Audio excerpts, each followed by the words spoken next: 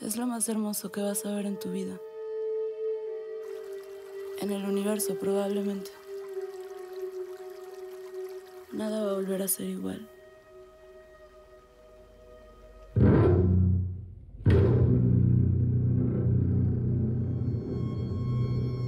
Lo primero yo creo que fue esta imagen, este esta encabezado, esta portada de, de publicación amarillista local que mostraba un cuerpo en el río y un encabezado muy provocador que decía ahogan a Jotito. Eh, y entonces leí el, el, artículo de adentro, me impresionó el, el encabezado.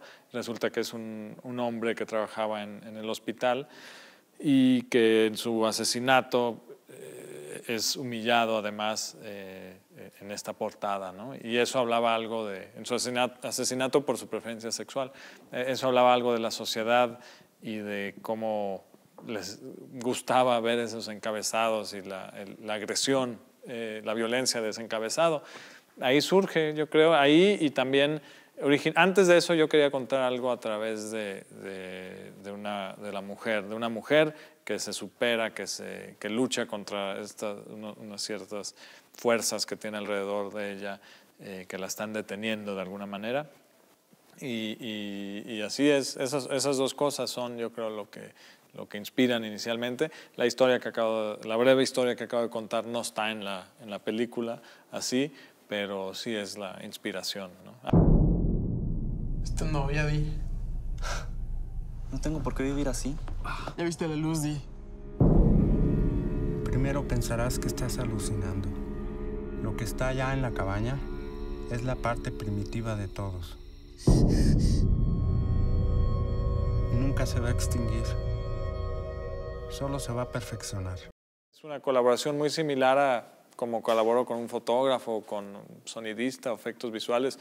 Es, eh, eh, es ir guiando por donde quiero yo que se cuente la cosa con el talento que él aporta, ¿no? que es mucho, y, y, juntar fuerzas y crear un guion que luego vamos a, a despedazar. ¿no? Ya tenía yo eh, los personajes en la cabeza, solo era cosa de crearlos, ¿no? porque una cosa es una imagen y otra es el trabajo de un dramaturgo, de alguien que, que puede crear una historia y, y con una estructura un algo más sólida y más concreta, eso es donde Gibran entra y, y donde aporta mucho. ¿no?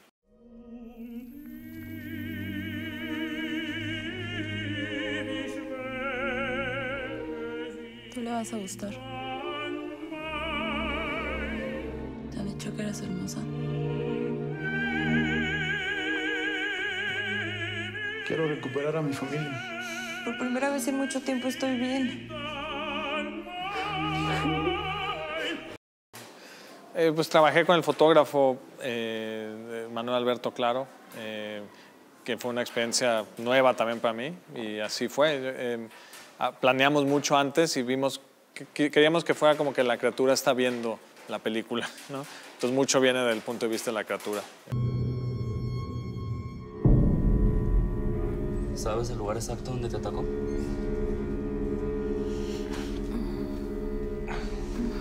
¿Te gusta el sexo? A todos, ¿no? Eh, pues digo, sí, yo creo que en mi búsqueda o eh, curiosidad, misterio de la violencia que ya viene desde todas mis películas, eh, va en esa exploración supongo que la sexualidad tiene un, rol muy importante, no es el único obviamente, pero en esta película sí trato de ver de dónde viene específicamente la violencia hacia, hacia la mujer y hacia la, gente que tiene preferencias sexuales diferentes a las que ya están aprobadas por la iglesia, digamos, ¿no? por la moral. Ahí sí es donde yo creo que, que está ligado directamente la, la, violencia y la contradicción, el, el, el, la, la, contradicción y el rechazo al deseo de uno mismo y cómo eso afecta eh, al prójimo. ¿no? Y eso yo creo que lo vemos en México mucho. ¿no? Eh, y en un país como México, donde hay tantos feminicidios y ya es un fenómeno tan recurrente que ni siquiera es noticia ya, eh, eh, que no hay culpables, que no existe eh, una ley que, que, o sea, no una ley, sino una justicia de, de, que, de descubrir a culpables, se va creando un fantasma, una monstruosidad que yo creo que también lleva a donde es la región salvaje que, que, que aborda de una forma ya fantástica de terror, ciencia ficción, este tema. ¿no? ¿Regresarías?